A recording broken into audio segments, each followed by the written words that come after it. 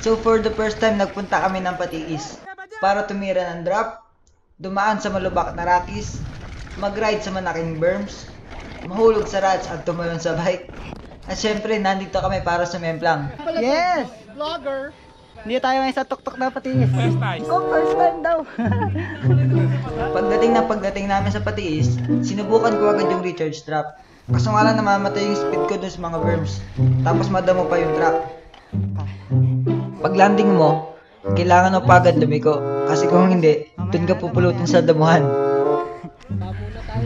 warm up, warm up. We'll be right back. Sa mga taong naligaw lang sa video na to, kabubuo ko lang itong Dartmoor Blackbird 2019. Kaya ito yung first time ko magagamit tong bike na to sa trail. Sige, ingat ah.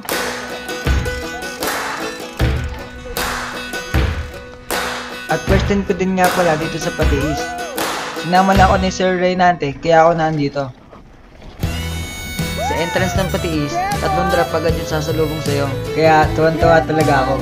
Tapos yung view sa trail, grabe. Kitang kita mo yung mga building habang bumababa ka. Alam ba, anong ano, magkaila ba yan yung mga building na yan?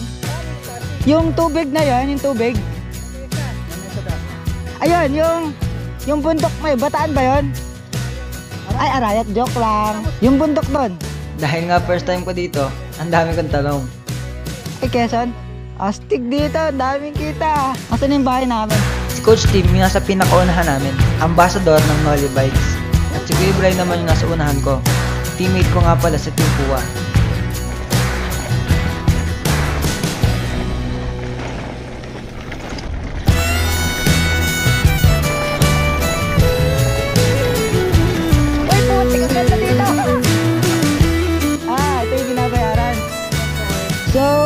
Dito sa Patis, may binabayaran. Pero ako libre.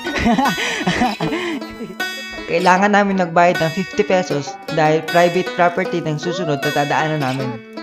Virgo Line ang tawag nila dito.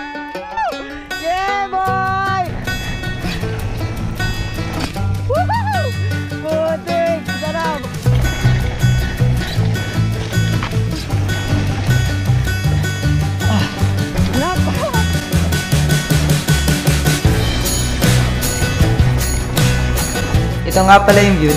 Dito madalas nag-feature yung mga rider. Kung nagpatiis ka, hindi pwedeng wala kang feature dito.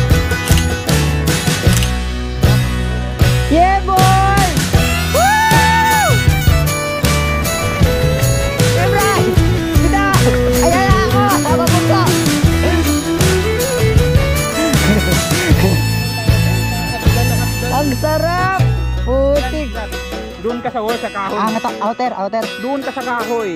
Pag, pag kanan ka dyan. Atat na atat na akong tirahin tong section na to. Hindi ko na nagets yung sinasabi sa akin ni Kuya Bray na kahoy at butas.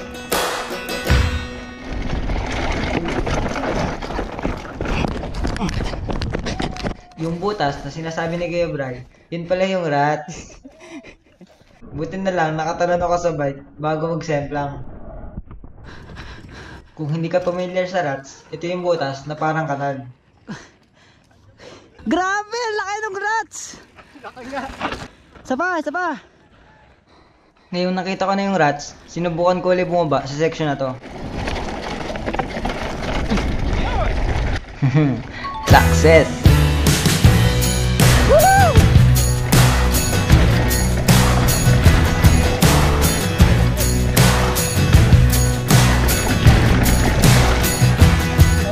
Ang ako dun oh. Dito na ako titira. Hindi tulad ng ano, no? Ito na yung dulo ng trail. Para makapunta ka sa main road, kailangan mong dumaan dito sa trail exit.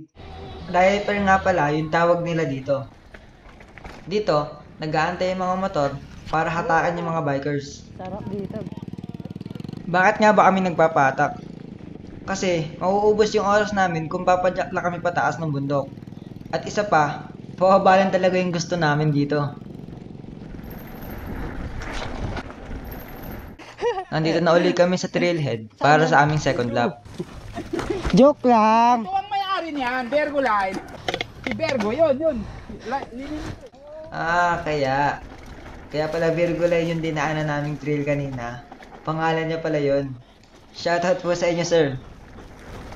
Andito kami ngayon sa Bogart Line at hinahabol ko ngayon si Sir Virgo.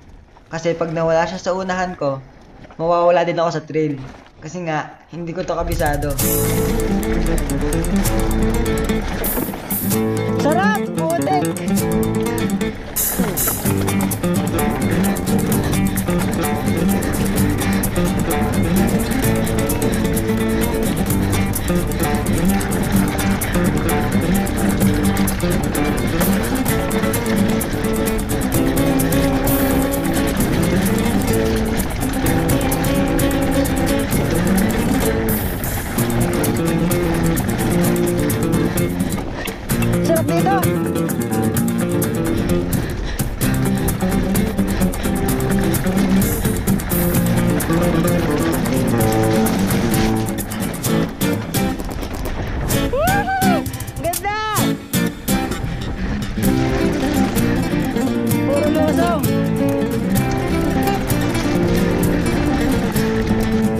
From Bogart Line, nag-transfer kami sa Virgo Line. At dahil pangalawang beses ko na dito, tinry ko umuna sa trail. May mga karera na din ginanap dito sa Patiis. Isa na dito ang Batang Patiis Gravity Enduro noong October 2019. Kung saan, sinalian ito ng 211 riders. Ilan sa mga kalahok dito ay ang SEA Games Silver Medalist Elizar Barba Jr., SEA Games Gold Medalist Jeric Farr, at. Women's DH Gold Medalist Lea Denise Belgira.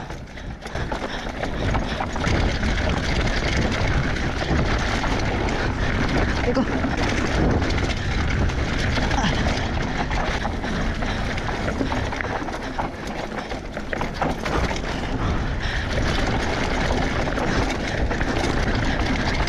Ay, God.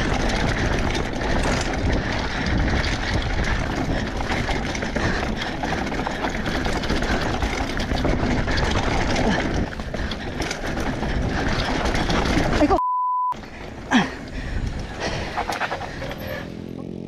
Inaabot ng 8 to 12 minutes ang hatak papuntang trailhead. Isa daang piso ang binabayad namin kada hatak ng motor.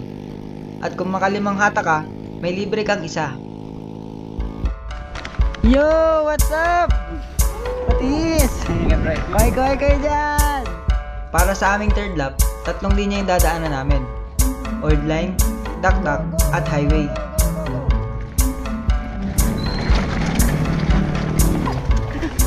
Ito yung old line. Simula, maluwag yung daan niya. Sige. Ah! Ah! Ah! Huwag kong talo na na yan, ha? Sige. Na. Pagkatapos ng konting double track, bigla magiging single track yung daanan. Tirahan mo! Laglag. Laglag ka? Tinignan ko muna yung jumps bago ko tiranin. Delikado kasi kung hindi ko muna titingnan. Kaya bumalik ako para subukan yung jump. Tirahin, tirahin, tirahin!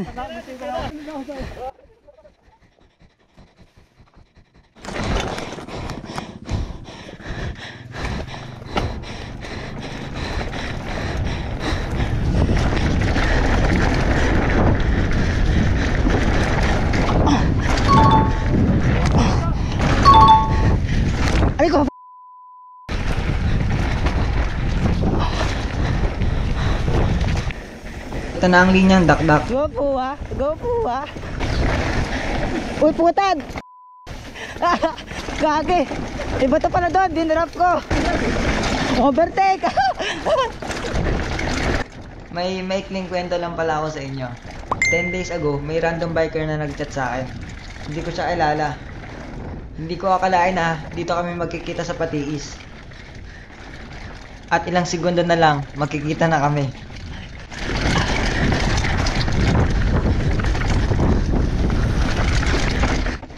At dito na nga kami nagkita ni Sir Richie. Ako! Ito, ito, ito, ito, sorry, sorry, sorry. Ba, sorry ba? Hindi ako pagpre. Oops, oops, oops. Ah, Shoutout nga po pala sa inyo, Sir. Yun din naman yung linya ko eh. Kaya lang mabilis siya. sorry po. Ayos lang po kayo. Sige lang, sige lang. Okay lang, okay lang. Hindi, hindi, sige, sige. Sa sobrang lubak ng highway line, di na ako nakapagpreno. Ang hirap na kasi hawakan ng preno kapag sobrang lubak na. Nabunggo na ako kay kuya. Uy, pagdating doon, huwag ka na umakyat. Sa baba tayo dadaan. Let's go. Ginamit nga pala itong linyan to sa UCI Downhill Competition MTB noong May 2019. Hindi na ako magtataka kung ba't ito yung napili nila kasi sobrang lubak talaga. Kung sa video mukhang hindi gana malubak. Pag sa personal, grabe.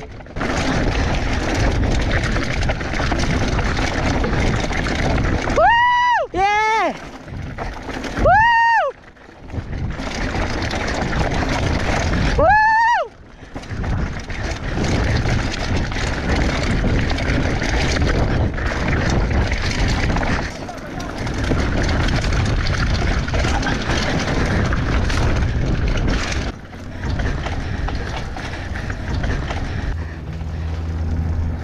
Ito lang yung ayaw ko dito.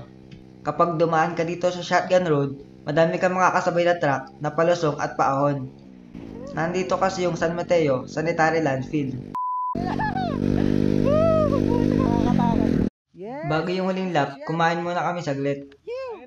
Ano all marunong magluto? What is this? Yeah, boy. Foods uli.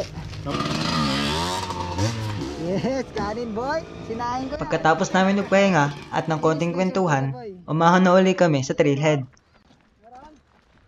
Ito nga pala yung taang may pakana kung bakit ako bumili ng bagong frame. Sa kanya galing yung Blackbird Ay, galing. 2019 na nabili ko. Yes. So nagtutulak kami. Huling hits na namin. Ah, tapos, pauwi na kami. At dahil nga pauwi na kami, wala na akong oras para magdalawang isip. Kaya, tinira ko na agad yung recharge drop. Wala naman naging problema. Sakto lang yung speed ko, tapos nakaliko agad ako sa berm. Nag-session na rin ako ng konting jump dito sa oil line.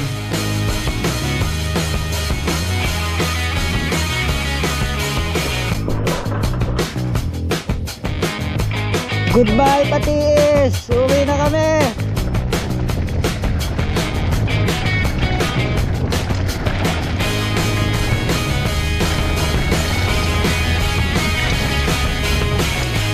Kung first time mo dito sa Patiis, maliligaw ka dito sa mga trail. Kung maligaw ka man, iisa lang naman yung lalabasan dito eh. Yun nga lang, hindi kayo makikita-kita ng kasama mo. Ito na yung pangatlong beses na titira kami sa Virgo Line. Alam ko yung mga berms, rats, at yung mga steep. Sa mga hindi nakakalam kung ano yung berms, ito yung parte ng lupa tuwing paliko na nakaangat. Yung yung nagbibigay ng support at traction sa gulong mo tuwing paliko ka. At sa patiis lang ako nakasubok ng mga ganitong kagandang berms. Ayan, babangga ako!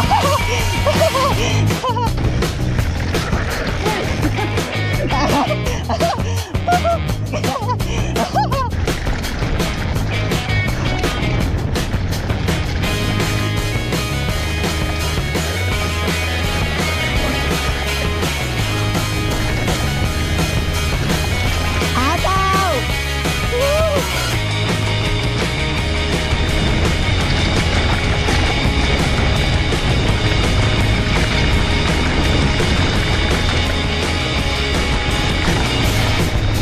Sobrang saya dito sa Patiis. Kung baguhan ka pa lang sa mga trail at hardtail na MTB ang gamit mo, okay lang na magbike dito. Kahit na matarig ay UV friendly naman. Lalo na yung Bogart line. Sigurado mag enjoy kayo dun.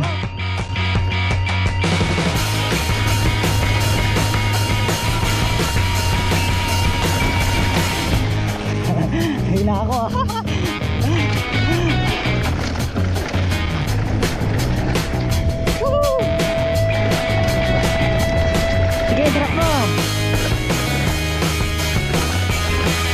nahulog ako. May kadadaan lang.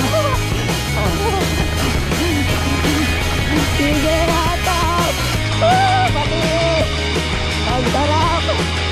Ito na, ito na, ito na. Dalawa ako. Nahulog, nahulog. At dito na nagkatapos yung first ride sa bike na to at first ride ko sa Patiis. Masasabi ko na isa ang Patiis sa mga pinakamagandang trail na napuntahan ko. Shoutout nga po pala sa Trail Builders.